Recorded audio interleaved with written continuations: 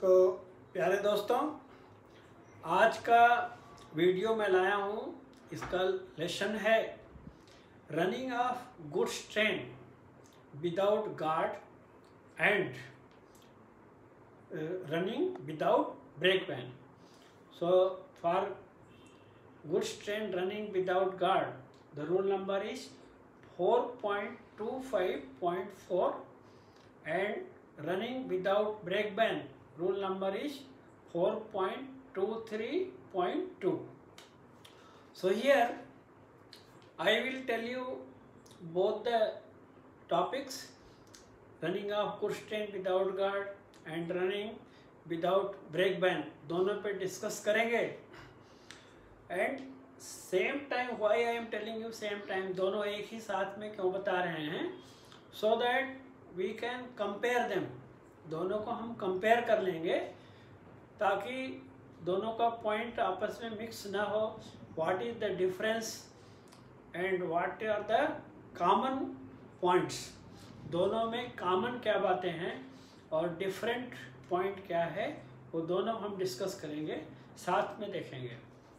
सो so, जैसे first thing these permissions without guard और without brake van will be given only in emergency. Because normally हर train में guard होना चाहिए हर ट्रेन में ब्रेक बैन होना चाहिए। सो so, ये सिर्फ़ इमरजेंसी के लिए है। तो इमरजेंसी में जैसे सपोज़ गार्ड की शार्टेज है या ब्रेक वैन की शार्टेज है तो वैसा सिचुएशन में अपना ट्रैफ़िक कन्वीनियंट के लिए ये इमरजेंसी में परमिशन लेके चलाया जा सकता है। सो हु कैन परमिट तो यहाँ पे पॉइंट में अंतर है। Without guard running of goods train without guard can be permitted by only senior DOM अगर विदाउट गार्ड ट्रेन चलाना है गुड्स ट्रेन तो केवल सीनियर डीओएम परमिट कर सकता है। और इधर विदाउट ब्रेक बैन चलाना है तो दोनों परमिट कर सकते हैं। सीनियर डीओएम और डीओएम तो एक ये डिफरेंस है पॉइंट का। कॉमन पॉइंट क्या है?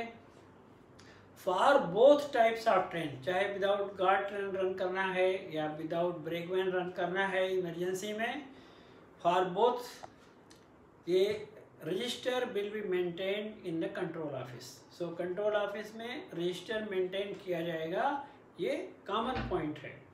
और सेक्शन कंट्रोलर ट्रेन पर्टिकुलर उसमें रिकॉर्ड करेगा। Train number train name from and to station कहाँ से कहाँ तक परमिशन दिया, कहाँ से कहाँ तक जाना है। And reasons reasons for permitting without guard और without brake van and then signature column C अगर विदाउट गार्ड है तो only senior D M signature to be taken and without brake van है तो सीनियर डी ओ एम और D O M दो में कोई भी परमिशन दे सकता है।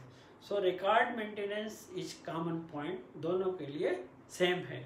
But who will give permission difference is there next whenever train is running without guard goods train running without guard so duties of guard some duties of the guard will be performed by loco pilot and it will devolve on loco pilot or assistant loco pilot यानी guard के कुछ important work loco pilot और ALP के ऊपर निर्भर करेंगे they have to perform the some duties of the guard important duties जैसे for example brake continuity test करना है। सो ब्रेक कंटिन्यूटी टेस्ट करना है तो एएलपी पीछे जाना पड़ेगा ब्रेक वैन में और वो गार्ड की ड्यूटी करेगा।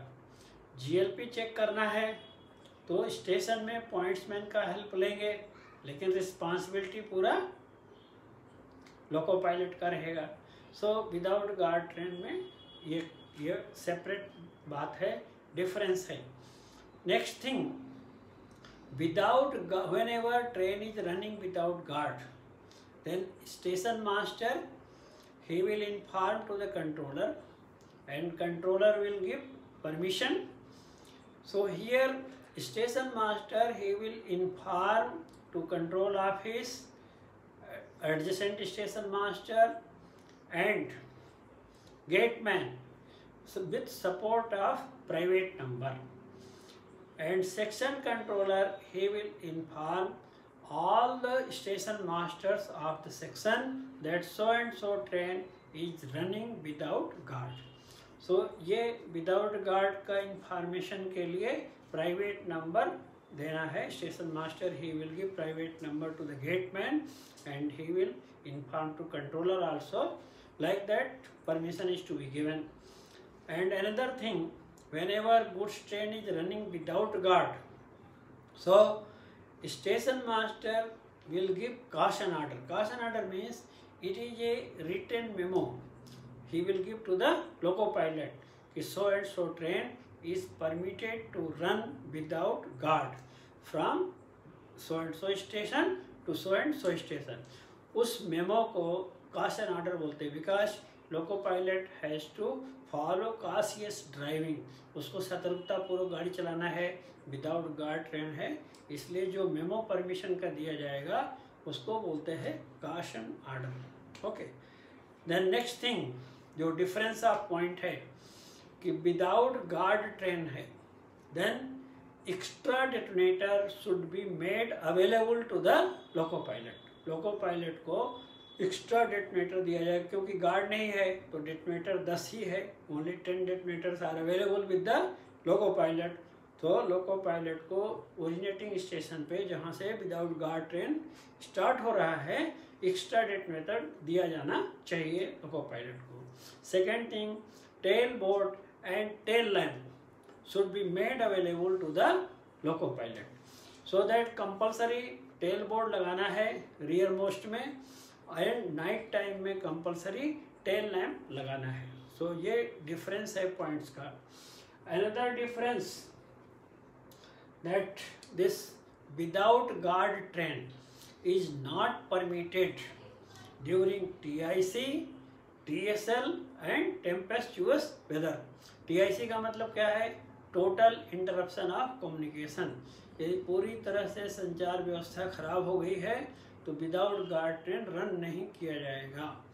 टीएसएल जो टेम्परेरी सिंगल लाइन वर्किंग है, उसके दौरान भी विदाउट गार्ड ट्रेन परमिटेड नहीं है। देन टेम्पेस्चुअस वेदर का मतलब क्या है? खराब मौसम है, आंधी तूफ़ान है स्टार्म है so without guard train should not be permitted whereas without brake band में रिस्ट्रिक्शन किधर है? Only TIC only total interruption of communication में विदाउट ब्रेक बैंड ट्रेन रन नहीं करना चाहिए।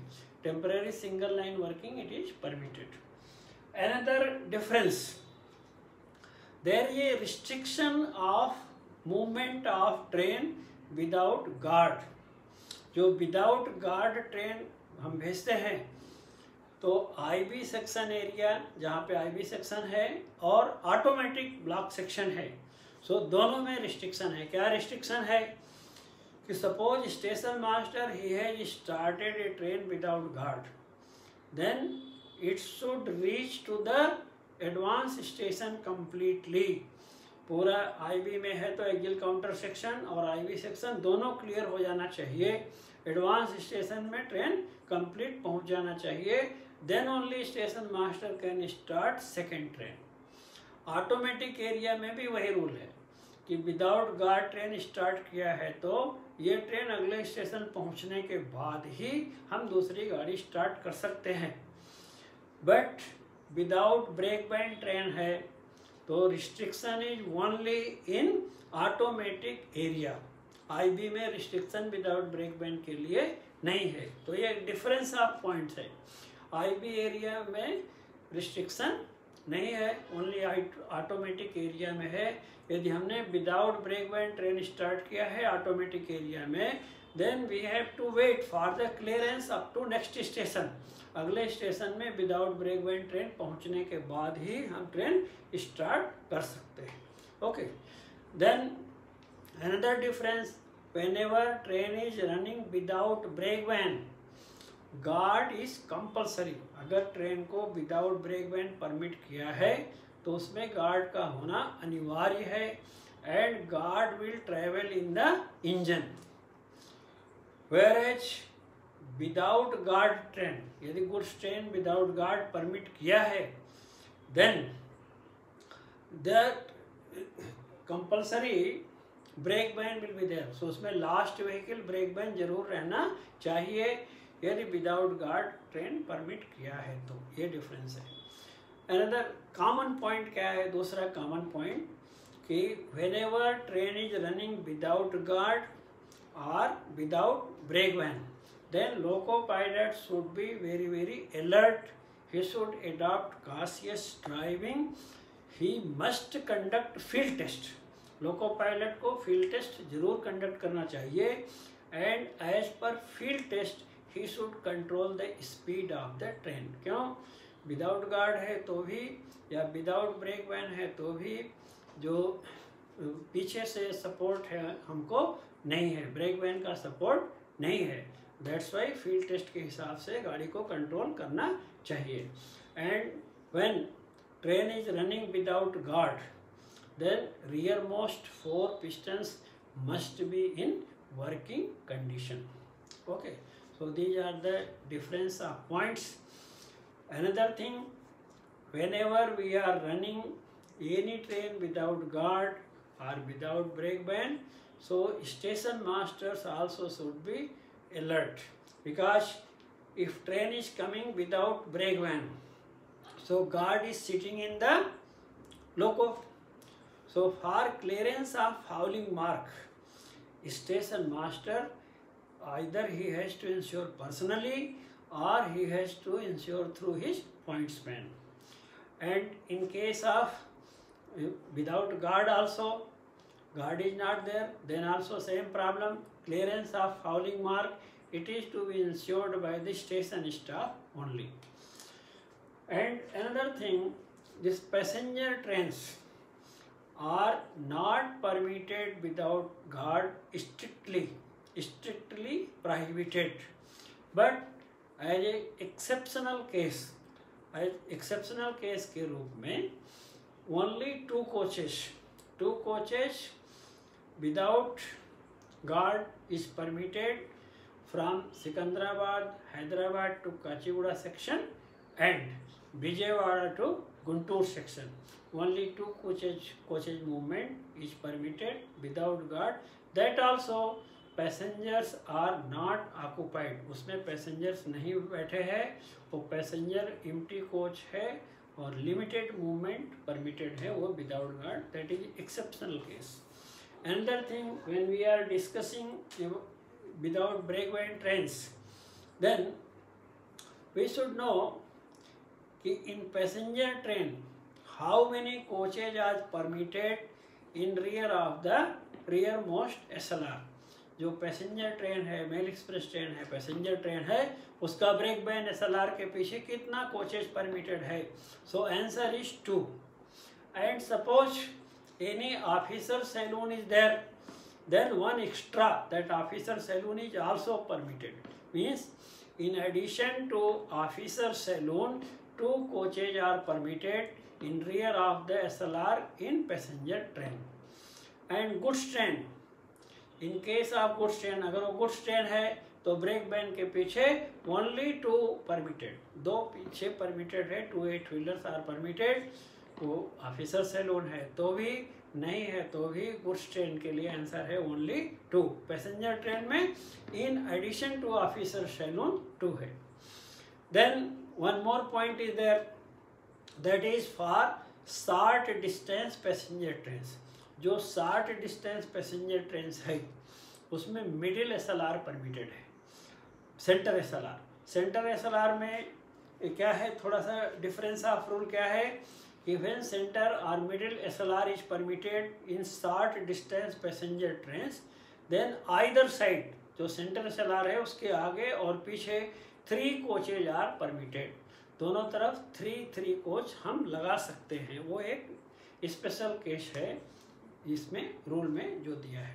Okay so I think you have understood clearly कि what is the procedure to run a goods train without guard and how to run a goods train without brake band and how the permission is given and record is maintain at control office and further procedure you have understood in case of any doubt so please do write your questions and queries in the youtube comment box and do not forget to subscribe and like the video so that energy of your instructor goes ahead and he continues to tell you further lessons.